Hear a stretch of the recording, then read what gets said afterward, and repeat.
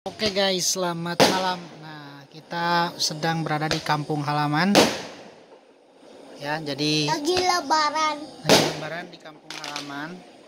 Eh, ya kebetulan tempat tinggal nggak jauh ya dari rumah Ada, ada. orang tua. Itu cuman beda kota sama kabupaten aja sih. Ya perjalanan sekitar dua jam setengah. Jadi saya akan coba bahas tradisi lebaran se semasa hidup saya dulu ya.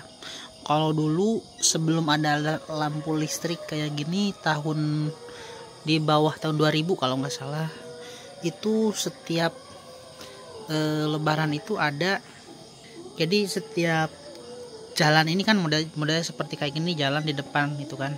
Setiap rumah dan jalan yang menghubungkan antara rumah warga yang satu dan yang lain itu ada lampu obor ya.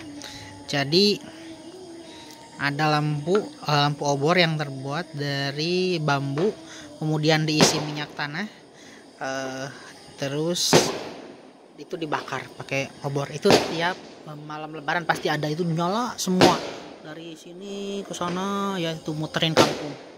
Ya. nah tapi sekarang udah nggak ada ya. Jadi tradisi itu udah nggak ada yang hilang. Nah kemudian tradisi sebelum lebaran di kampung saya itu setiap sebelum lebaran dulu itu suka ada eh, apa eh, warga yang punya kolam terus isi berisi ikan itu kan di sini tanam ikan nah itu dua hari sebelum dua atau satu hari sebelum lebaran itu di, selalu dikuras kolamnya kemudian ambil ikannya semua kemudian dimasak digoreng atau di apa dibakar gitu kan itu tradisinya. Itu juga sampai sekarang mungkin udah agak jarang sih hanya satu dua orang saja yang punya kolam itu ada di situ kolam di situ banyak kolam ya terus eh, yang tradisi yang sekarang masih ada sih beberapa sih cuman nggak terlalu banyak.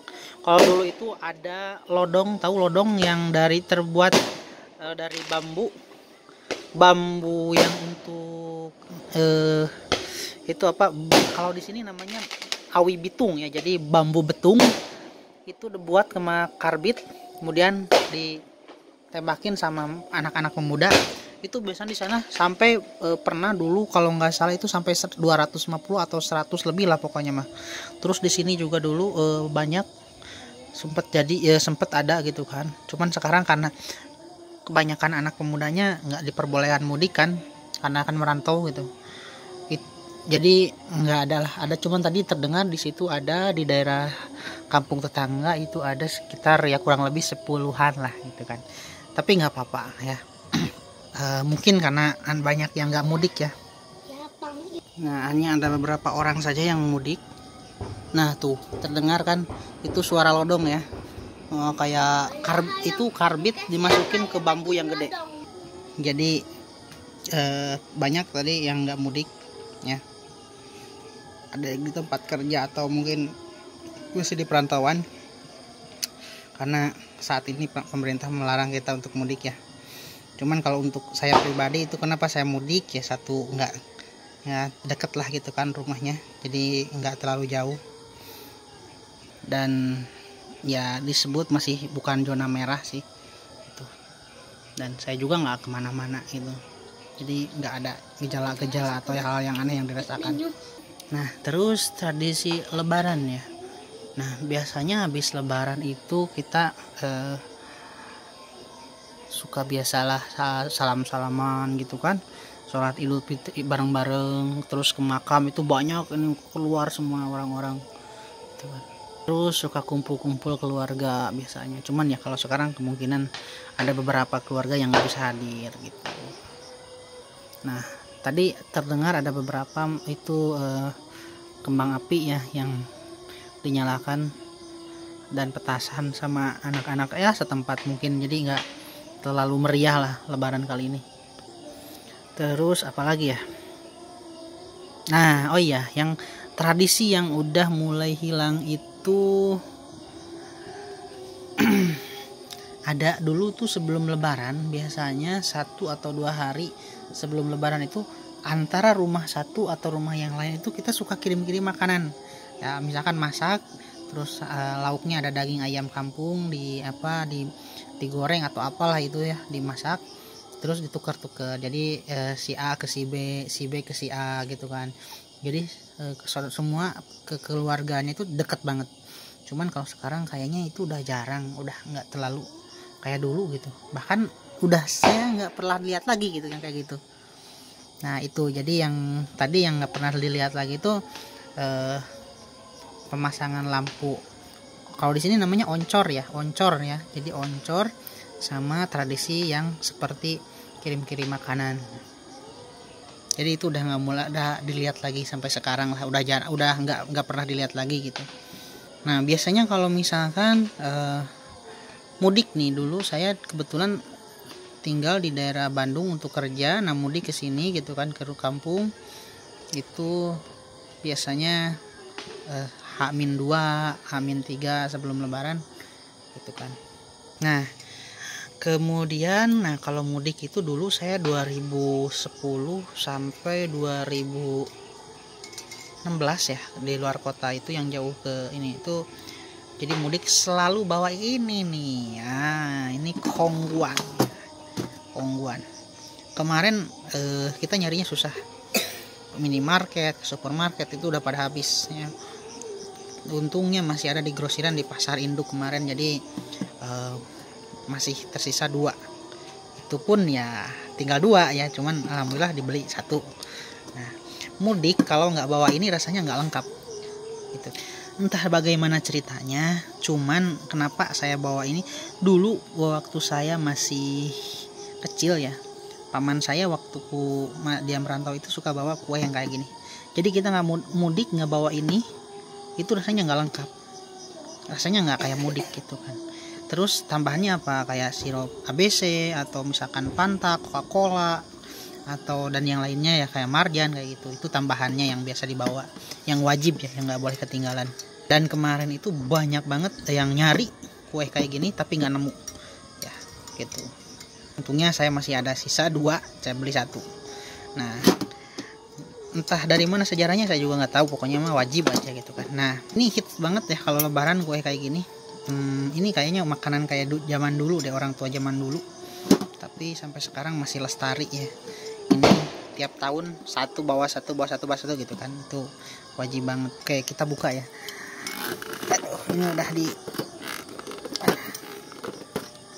ini masih ori segelan tadi ya udah dibuka plastiknya. Yuk dibuka dan yang paling serunya itu kue kayak gini tuh.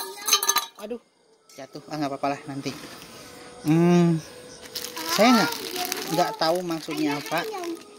Uh, ini pongguan itu selalu ada yang kayak gininya dari dulu sampai sekarang. Nah yang anehnya itu ya kongguan ini ada gambar stroberi ya rasa stroberi tapi di dalamnya ini nggak ada. nah, itu juga cukup aneh ya. Cukup aneh. Makanya anak saya barusan cari yang rasa stroberi tapi nggak ada nggak nemu. Nah aneh ya. Adanya ya rasa krim dan lain sebagainya ya tapi nggak ada yang rasa stroberi lah. Kemudian nah yang di dalam ini tadi udah diculik. Itu adalah waper waper khas Kongguan. Nah itu biasanya kalau pas hari hak lebaran itu kita kan kumpul-kumpul keluarga antara sepupu dan e, saudara-saudara yang lain kita itu rebutan biasanya. Yang waper yang di sini nih yang tadi udah dimakan sih sorry ya. Udah duluan dimakan karena tadi ada di bawah yang belum dimakan. Jadi kita suka rebutan. Nah itu saya rebutan itu sama sepupu ya saya yang sekarang ada di Wamena. Jadi dia nggak mudik-mudik udah hampir 10 tahun. Biasanya kalau mudik dulu kita rebutan. Nah rebutan sama paman juga kita rebutan gitu kan. Yang ada yang waper itu yang itu yang paling dicari sih di kue ini. Sama paling saya favorit saya ini nih favorit favorit saya selain itu yang kedua ini nih yang krim ada krim coklatnya. Ya ini ada krim coklatnya. kuahnya warna hitam gini ya. Terus yang krim putihnya juga ada, saya cukup suka. nah ini kemudian apalagi ya kalau yang kayak gini nih nggak nggak terlalu yang nggak terlalu suka yang ada krimnya sama yang asin-asinnya nggak kurang suka lah yang kayak gini nih. Nah itu ya. Jadi hal yang wajib ketika mudik lebaran. Ya, nah dan teman-teman juga harus tahu itu kalau ini satu berapa hari misalkan hari pertama ini masih penuh hari kedua mungkin ya tinggal setengah hari ketiga ini berubah isinya isinya berubah jadi opak rangginang atau misalkan eh, keripik pisang atau misalkan keripik singkong. Jadi berubah fungsi. Yang awalnya kue berubah jadi eh, makanan khas di kampung kita ya yang cemilan-cemilan kayak gitu. Ini saya nggak pernah absen tiap tahun selalu bawa yang kayak gini untuk dimakan sama orang tua sama keluarga bareng-bareng gitu kan nah buat teman-teman yang nggak bisa mudik yang masih misalkan di tempat kerja atau di perantauan ya bersabarlah ya. Hmm, saya hanya orang yang mungkin salah satu orang yang beruntung eh, tiap tahun bisa mudik ya walaupun keadaan dalam seperti ini tetap saya juga menjaga protokol kesehatan ya karena eh, menjaga keluarga yang ada di rumah itu lebih penting dari hal apa pun ya apalagi orang tua mungkin udah berumur gitu kan nah. Ya mungkin kalau saya juga misalkan ada berada ber- berada di beberapa misalkan beda provinsi atau beda daerahnya lebih jauh gitu kan itu mungkin saya juga nggak bisa mudik lah. Tapi alhamdulillah saya selalu menyempatkan. Tadi pun eh, jujur aja tadi juga jalannya agak ini apa kita agak ngendap-ngendap gitulah takutnya kan ada razia atau apa gitu kan. Ya demi karena mudik eh, lebaran nggak mudik itu ibarat apa ya? Ya ibarat wap ini kaleng kongguan lebaran nggak mudik itu ibarat kaleng kongguan kayak gini isinya lengkap tapi nggak ada wapernya. Nah itu ibarat seperti itu teman-teman. Nah, itu sedikit cerita ya tentang lebaran. Lagi eh, itu biasanya kita ziarah ke makam eh, nenek gitu almarhum kakek almarhum saudara gitu kan ya gitu bareng-bareng lah sama keluarga besar biasanya. Ya, cuman di sini kayaknya besok kita lebarannya pun tetap pakai masker gitu kan walaupun ya di kampung. Gitu, karena menjaga. Tadi mana nya nu iya nu nyenget todong mak? Hmm.